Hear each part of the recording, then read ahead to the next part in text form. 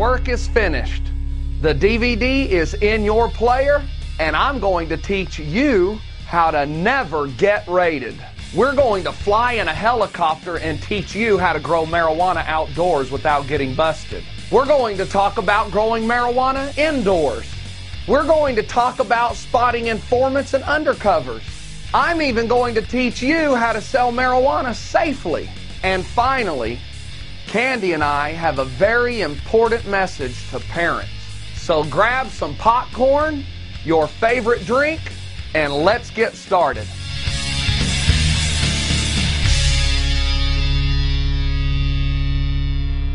Okay, we're going to get started. This is the section of the DVD that teaches you how to grow marijuana without it being spotted.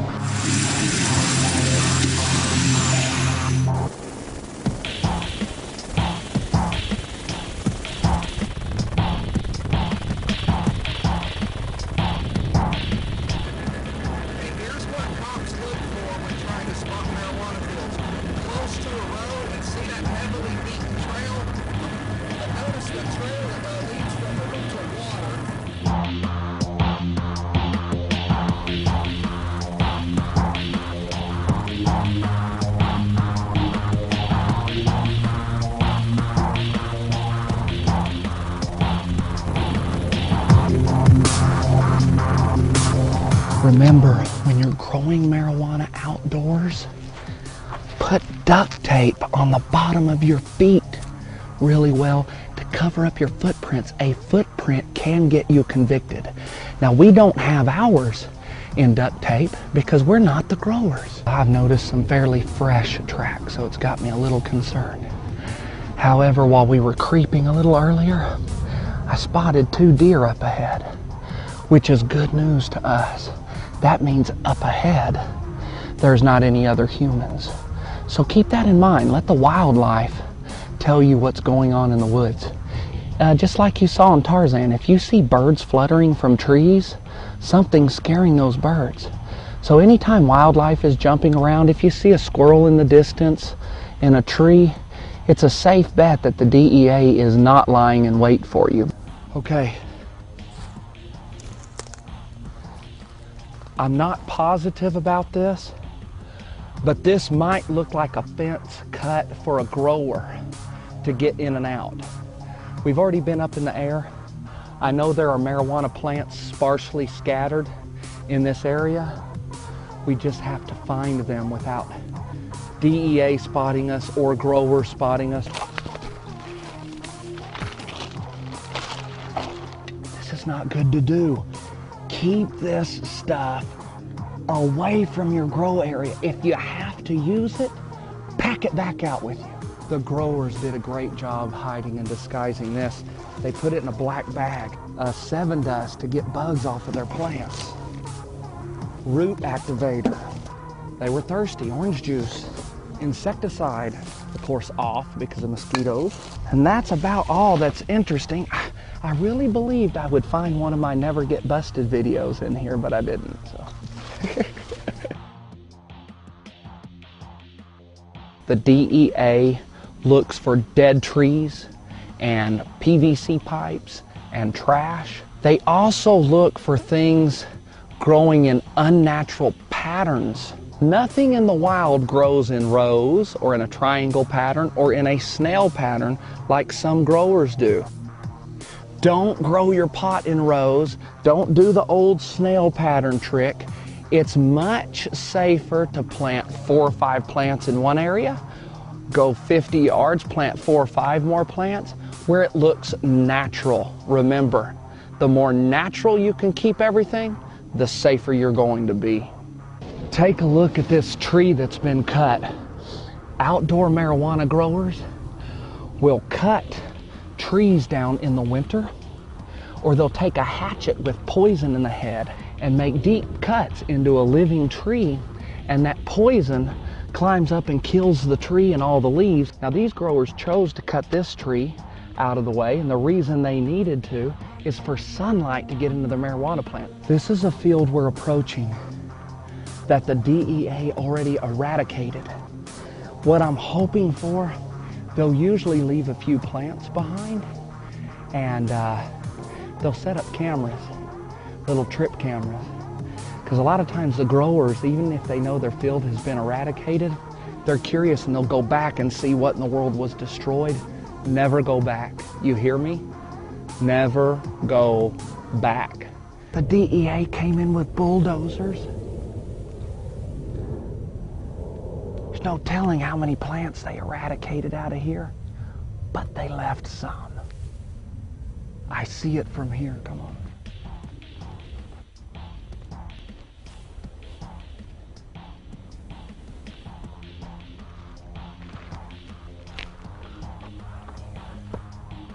Isn't it wonderful that there is no way the DEA or any other law enforcement agency can totally eradicate such a beautiful, healthy plant? This plant helps millions of people. Less than 10 yards from those four or five marijuana plants is a well-worn path right down to a large creek. The DEA flies creeks and ponds because they know growers have to plant close to water sources like this grower did. So remember that. If you can grow your plants away from water sources and you tote the water in, you're a lot safer. Airplane, airplane. Stay down and be still. Just be still. That's okay if it's connected with anything. By the time they get ground units here, we're gone. When we took cover, look what we landed in. A male marijuana plant. The growers forgot to pull that guy. There's another chopper I just saw go through here, but it, it was way off. If, if you're ever outdoors guerrilla growing like these people are, you make positive any aircraft that flies over, the most important thing is to be still and duck your head. Don't look up at it like this because your face shines. Dixie cups. Do not leave these laying around. That's what the growers started their plants with. I saw these from the air. Notice how the grower has them sparsely scattered and he's not planting them in rows? That's a good idea. This is a little female plant here, already budding out. Uh, they've got one tucked away here in the brush. It's already budding out. Uh, and I'm sure there will be more. I know for sure it's the growers cutting this fence now because right there is a water can. Keep your water cans hidden. Now this grower was smart because it's green or camouflage. This would be really, really hard to spot from the air. Look at this. That looks like a stick to you. Pull it out and it's their file. This is what they use to keep their tools sharp, to harvest their plants, to hoe, that kind of thing. And they kind of disguised it, which was kind of neat. When it comes to marijuana, Barry Cooper is on the wrong side of the law. The war on drugs is a failed policy. It's not working. Cooper not only believes marijuana should be legal, he's trying to help people grow it and not get caught. Marijuana is the number one cash crop in the United States, going into the billions of dollars, right above corn. Cooper says the bumper crop of marijuana found this summer in North Texas proves how popular pot has become. Americans are not going to stop growing it. They're not going to stop buying it. They're not going to stop smoking it, even if you continue to put them in jail. Last month, local and federal drug agents descended on seven fields in the Dallas Fort Worth area and destroyed more than 25,000 marijuana plants. It's impossible to eradicate. And I know that because I'm an ex narcotics officer.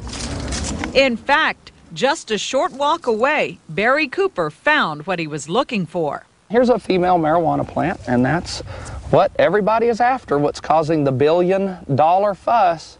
There's no doubt in my mind there are thousands of other fields like this. I think they got seven of these fields. There are thousands more. And they're about to start budding right now, by the way, too. So about October's harvest time.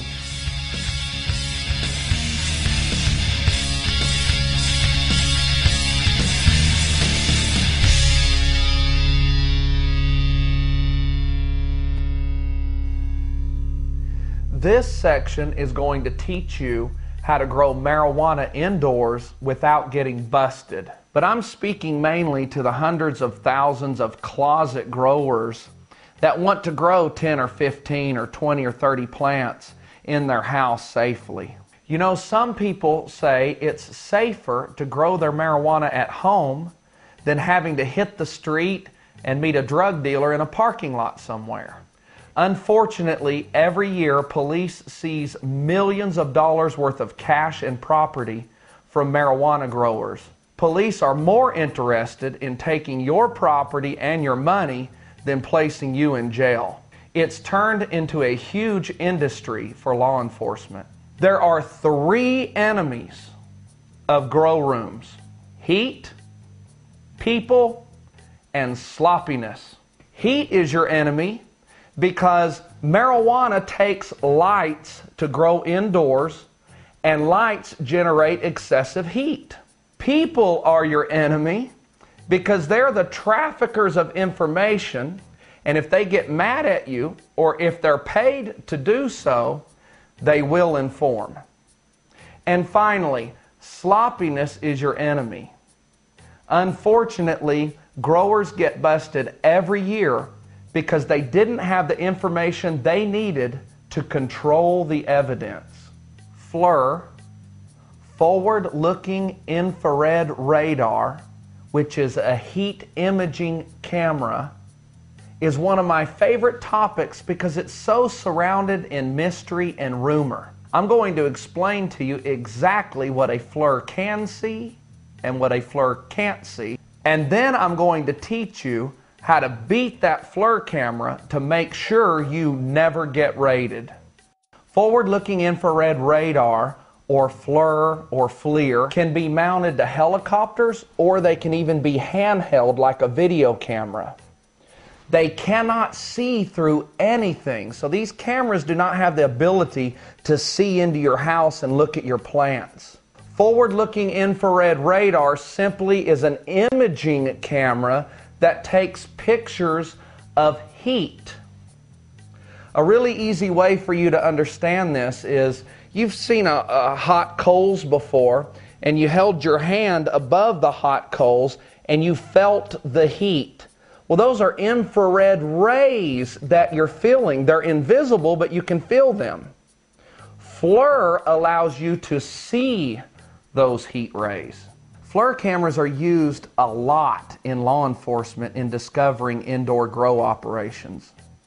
They'll either fly over your house or creep up to your house with a handheld FLIR camera, hoping to detect excessive heat in your home.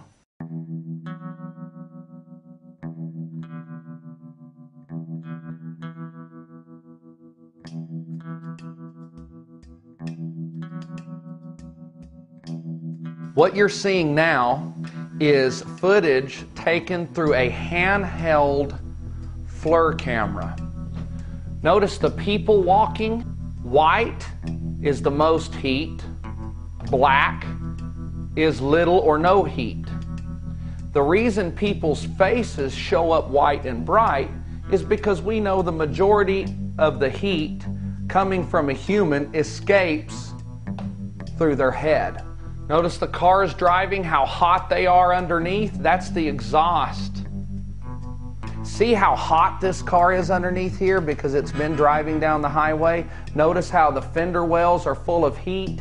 That's from the friction caused by braking. So I want you to just study the heat patterns in this scene. We included trees and cars and people and lights. This is taken in total darkness. Notice the windows are very black because windows are cold. Touch your window, they're cold. Crawl under a car and notice it's very hot, especially one that's recently been driven. This car looks like it's been there longer because those caps or wheels are black where this one looks like it's recently been parked because you can easily see the hot white underneath. Notice the truck driver here? See how he's appearing as white? That's because he's got a lot of body heat. By the way, these FLIR cameras are the ones that police use to locate suspects that are running from the cops. This footage was taken from 50 yards away at nighttime with the handheld FLIR. You can easily see these two people making an exchange from the front door of her house. I wanted this to burn in your mind how easily you can be seen with forward looking infrared radar. I wanted you to see how sensitive FLIR cameras are. She places her hand on the car, and when she removes her hand, you will notice that FLIR detected heat left over from her hand. Now that will slowly begin to fade as it recools. Watch this transformer and telephone pole as we focus in with the FLIR. Look how hot that transformer is. A lot of electricity going through there. Look how hot the lines are. That's from the flow of electricity. Dogs expel heat out of their mouth, whether you knew that or not. They can't sweat. That's why they pant. Look how hot the mouth is.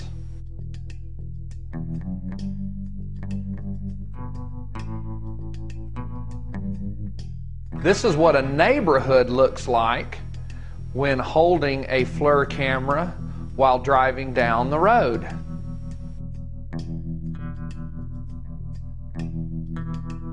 And this is footage of the helicopter flying over a neighborhood. This gives you an idea of what FLIR looks like from the air. Now, this is footage taken of a place of business and a house. Of course, they wouldn't be able to see you pumping heat out from this height, but they'll get closer, and the FLIR cameras on helicopters have an amazing ability to zoom in. You're going to see this from afar off, and then you'll see it flip. Now, that's a close up shot of what you were seeing a bit ago. You'll see him flip back and forth. This is the close up view. And the faraway view. So keep that in mind. If you hear a helicopter from far off, if he has a clear line of sight, he can see you. You can see if somebody was pumping heat out of this building right here, it could be seen by the FLIR. They basically look for two things. One portion of the house that's glowing or showing excessive heat, or they look for heat being pumped out of your grow room. And coming up is what everybody wants to see, and that's an actual grow room under FLIR. Let's see if you can spot it before I point it out.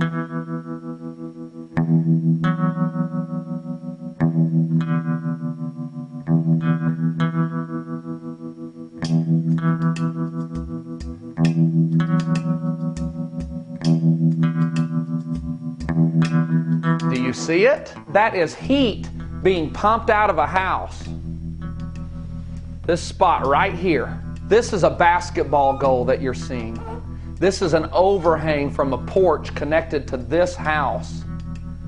The porch light's right here emitting the heat. This is not a light. That is heat being pumped out of the house from a grow room. That's what police look for. If your grow room is large enough that you must pump heat out of your house, it's much safer to pump it into the floor and under the house if you have a pier and beam. This is impossible to do with the concrete slab, so pick a house that's pier and beam and run the vents under the house.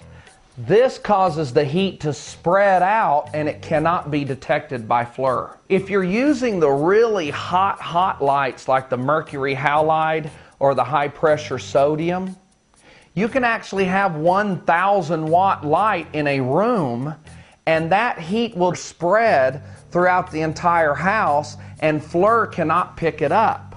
The idea is to spread the heat throughout your house much like a heater does in the wintertime. FLIR cannot detect that. It's the concentration of heat that FLIR detects. If you have a small grow box in your house or you're growing in a closet, the heat generated from the lights can easily be vented into the rest of the house, again avoiding FLIR detection.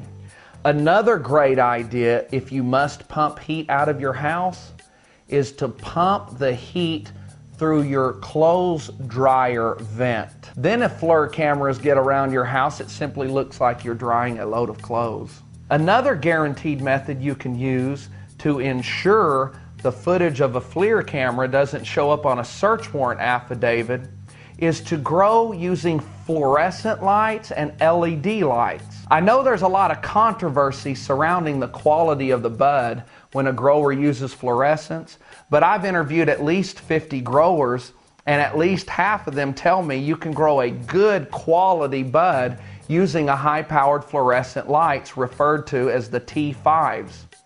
Fluorescent lights use very little electricity and they generate almost zero heat. So using these type of lights ensures no heat, therefore no FLIR imaging. The LED lights, light emitting diodes, are new on the grow scene. As far as how well they help plants grow, it's up for controversy, but I do know this. They generate very little power and zero heat like the fluorescents. So if you find out they do work, I highly recommend a combination of the fluorescents and the LEDs. You have to weigh the cost of gel versus the perception of a lesser quality bud. There's another disadvantage to using the lights that create a lot of heat. For one, they create suspiciously high electric bills, and that heat often causes fires. So if you're using these type of lights, keep it in check, make sure you've got everything tight, or you could come home to a burned down grow room. The second enemy to your grow room operation is people. People under pressure by the police will do crazy things, including tell on you to get you busted. I know you're proud of that garden. I know you worked hard on that garden. The fewer people that know about your grow room, the safer you are.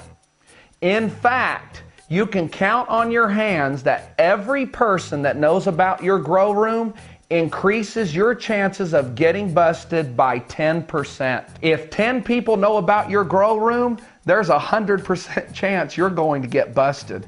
So keep it secret. Did you know that electric company employees